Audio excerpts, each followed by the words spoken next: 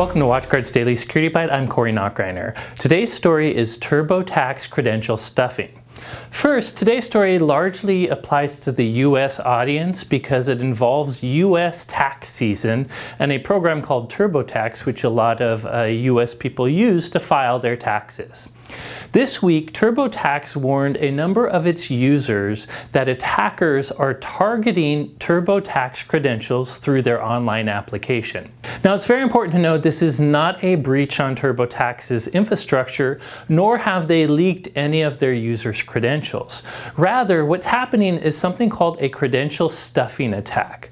What's happened is criminals have gotten access to leaked passwords from other breaches. You've probably heard me talk about many big password database leaks, including things like the collection 1 through 5 leak, which is billions of user credentials that are available on the underground.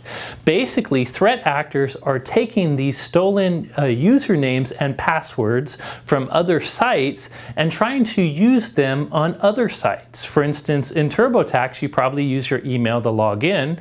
So if I get your email and credential from another site and you use the same thing in both places, I might be able to log in as you. In any case, recently the TurboTax folks at Intuit realized that attackers were brute forcing their login by trying a number of leaked credentials. And the good news is if you have a strong password, your password hasn't been leaked, or you use different passwords everywhere, you probably don't have to worry about this. If you do have to worry about this, you probably have gotten a communication from Intuit warning you that your account has been locked because of this attempt. And hopefully an attacker hasn't been able to file for you. Really what these bad guys try to do is to get to your taxes before you do, file and get some sort of return from the IRS instead of you getting it yourself. Long story short, it is tax time here in the United States and you should expect threat actors to continue to target things like TurboTax and your tax filings. If you are a TurboTax customer and you got one of these emails from Intuit, you definitely need to go react to it, reset your account, and give yourself a strong password. If you haven't got any message from Intuit, you're probably safe. Nonetheless, if you use your TurboTax password anywhere else, you should change that password and make it a much longer one. I also suggest you use multi-factor authentication. TurboTax offers it. Uh, it is a text-based authentication, which isn't the most secure, but it's much better than nothing at all.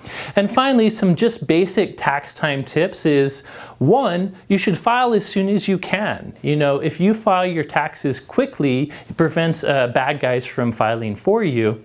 And of course, the same old tips apply. Make sure you're using a secure connection if you file online. Make sure you have a strong password that you don't use anywhere else. I recommend a password manager to run it. And as I said before, leverage multi-factor authentication.